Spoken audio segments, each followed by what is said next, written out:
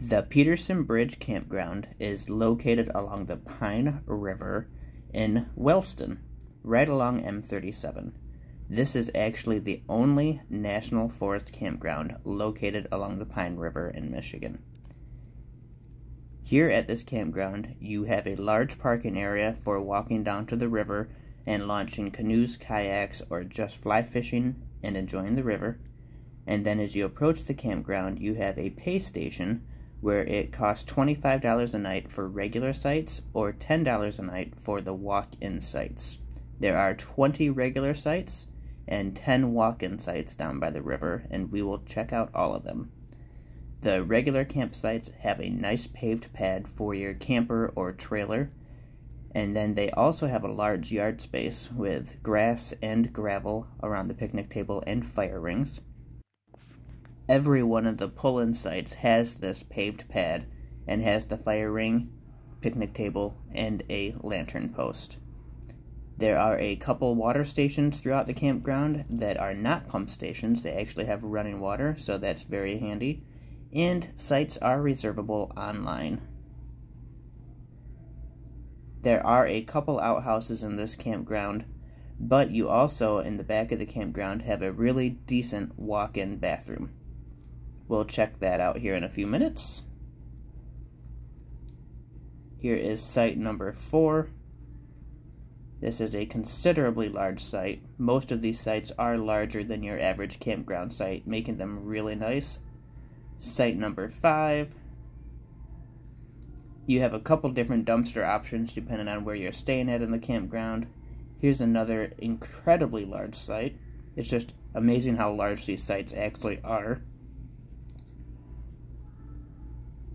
We're going to pan over here to another water station randomly placed throughout the campground.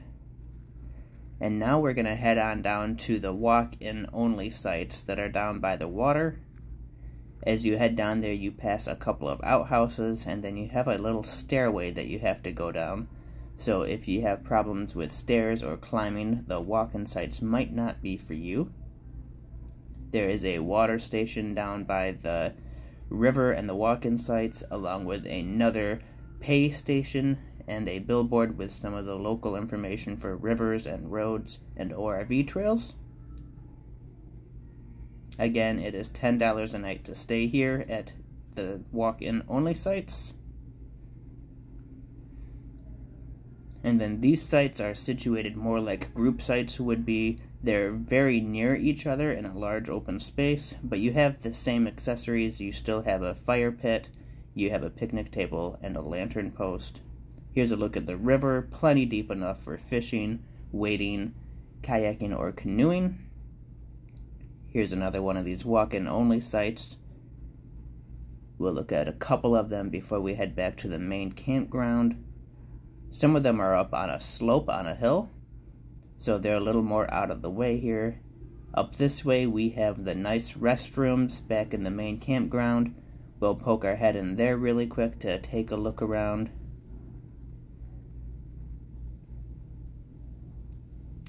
Clearly they're cleaned on a regular basis, and when I walked into this, it really showed it. There was no odors, nice and clean, no litter on the ground. I half expected there to be a shower, but there is no shower. But you do have urinals in the men's room and a couple different stalls here. And then just outside the restroom, you have another pay station if you're on this side of the campground bunch more information about the campground. And then here at the campground host, they actually have a spot where you can buy ice, firewood. They had a spot with some cold pop, so that was really nice.